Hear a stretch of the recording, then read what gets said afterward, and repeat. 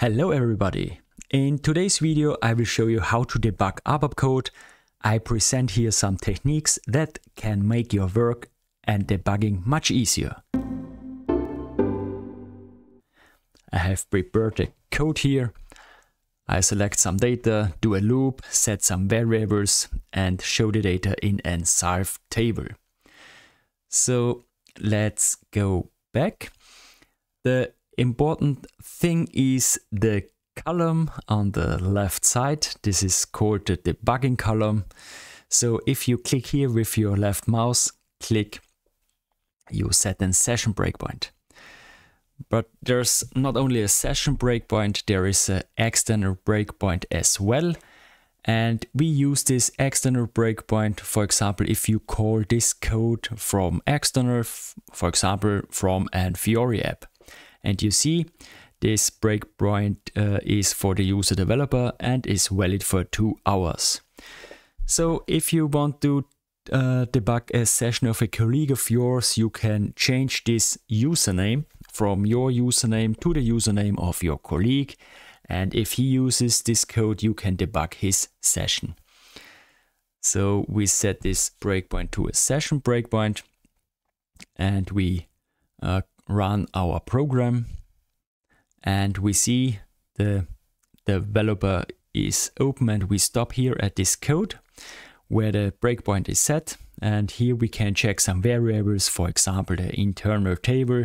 We see there are 94 entries 14 columns and the memory which is used for this object. And in the debugger we have some uh, ways to go forward. I use the key F5 to debug line for line or the key F7. If you're in an include, you can you press F7 and you're out on your um, called code, on the original code. Or you press F8 and then the program executes or it goes to the next breakpoint. So now let's set a breakpoint in this loop here call the program and I type here the variable sy-tabix and if then if I press F8 we see the loops. So now the sy-tabix is 3 and now I want to stop at line 40 and I can press now 40 the key F5 or I can set a condition here. And here I set sy-tabix is 40 so then I go back to the code and I press F8 and we see that the debugger stops at the 40th loop. So this can save you much time. Next we um, set the breakpoint, breakpoint again in this loop. Then we run the program again. We go to the tab break and watch points again and set another condition. And now I use my variable in this loop, lvbig. And now I want to know, or I want that the debugger stops when the variable is set to 1. And I want to know in which loop is this done. So now I press F8 and I see here on the 20th loop, the variable is set to 1. So I press F8 and next we see on loop 54 the variable is set again to 1 and between it was uh, 0.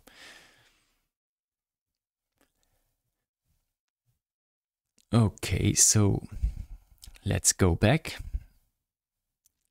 And now I set the breakpoint at the beginning of my program. I run it, click on break and watch points, watch point and then here I can set uh, I can set a variable here and the watch point checks when my the value of my variable is changed so I type here the variable LV big. I see now the value is 0 then the sy-tabix again and then I press F8 and I see um, when the uh, on 19 on 31 on 53 the variable is uh, changed from 1 to 0 or from 0 to 1.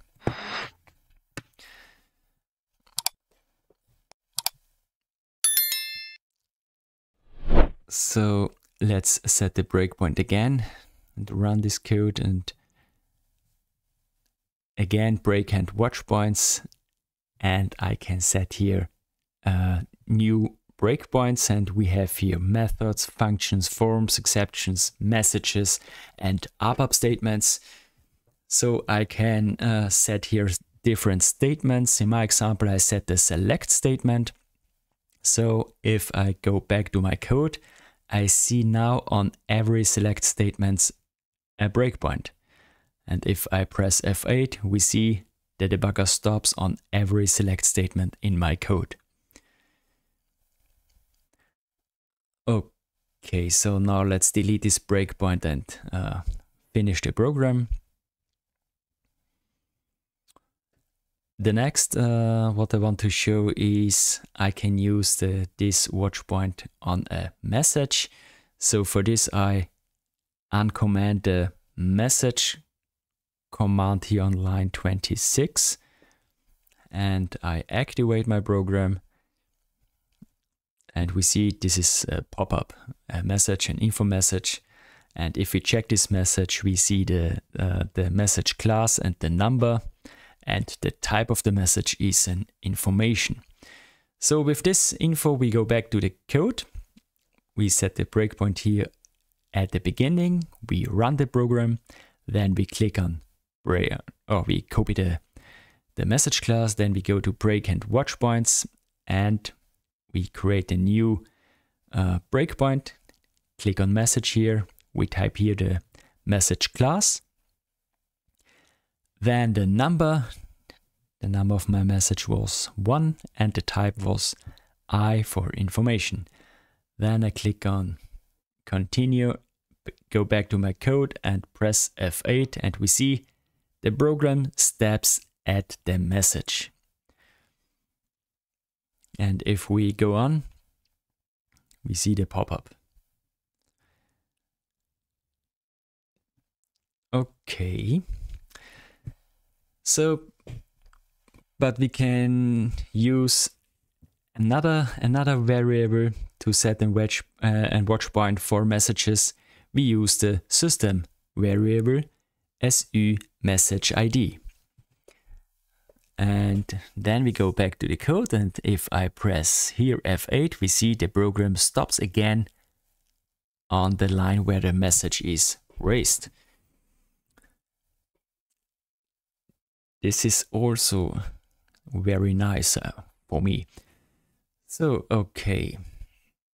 And sometimes we have some more debugging uh, breakpoints in our code. And if we press here, Control Shift, and we click on the, the bugging column, we see my or we see the whole breakpoints in which uh, program the breakpoints is set.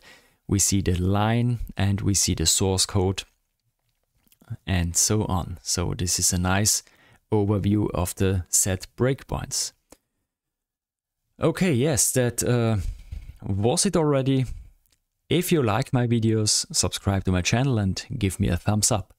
Also write something in the comments, I always like to read them. Take care and see you on the next video.